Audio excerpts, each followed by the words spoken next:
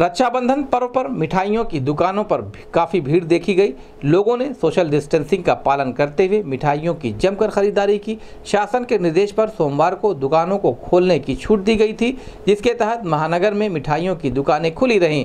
दुकानों पर मिठाई खरीदने के लिए भीड़ देखी गई। अच्छी बिक्री होने के कारण दुकानदारों ने खुशी का इजहार किया। इस संबंध में गोरखपुर न्यूज़ से बात करते हुए मिठाई दुकानदार मनोज आर्या ने कहा। हो गया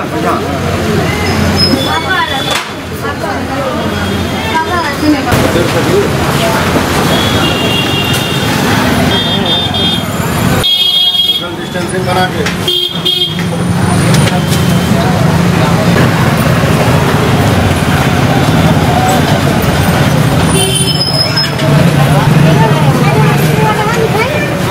बना के रखिए डिस्टेंसिंग बना के रखिए उसका।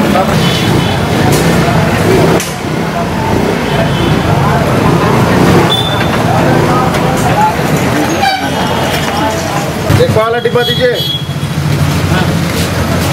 मिक्स मिठाई मिल जाएगा। मिठाई। मिठाई। मिठाई मिठाई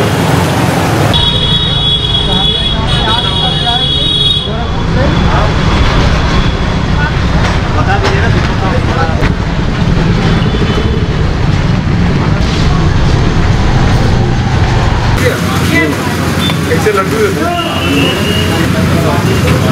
दे दो भैया तुम्हें छीना वाला। आधा किलो आप दे नहीं है तो मौके एकदम ताज़ा है एकदम ताज़ा।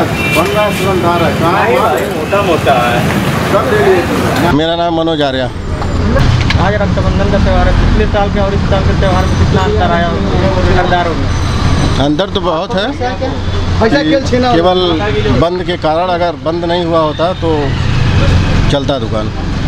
लॉकडाउन में कितना प्रभाव पड़ रहा है? प्रभाव तो बहुत है समझ लीजिए कि फिफ्टी फिफ्टी का डिफरेंस है। अभी है तो ये तो पूरा स्टॉक देखने के बाद ही पता चल पाएगा कि क्या है।